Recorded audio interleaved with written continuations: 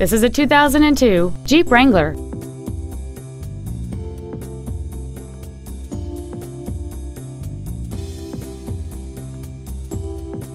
Not to mention that this Jeep qualifies for the Carfax buyback guarantee.